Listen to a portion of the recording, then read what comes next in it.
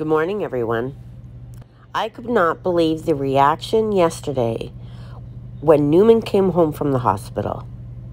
Backstory Newman went to the hospital to get a skin biopsy on his face.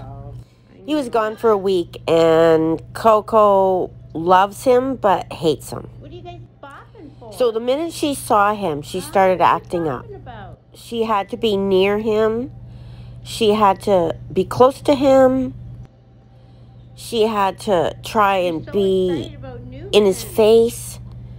Like she kept dancing for him, like constantly. When I was away, she clipped her tail feathers and her wing feathers. I think it was because Newman was in the hospital, not because I was gone.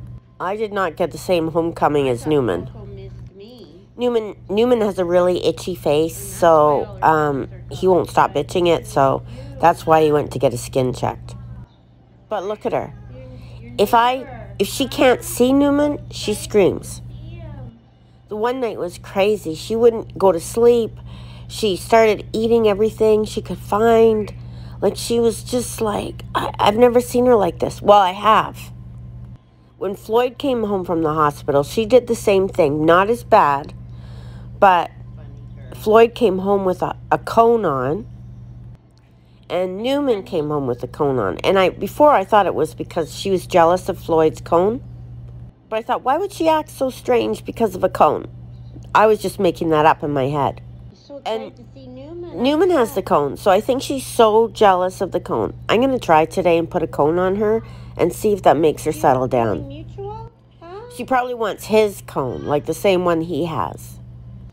I've never seen a bird so jealous of other birds. Well, she isn't normally like that, but she wants exactly what they have. Have a nap. Hey, sweetie. Well, like the different things. Like Newman's got the cone, and then Duncan has a special dish, and Cookie has a special dish.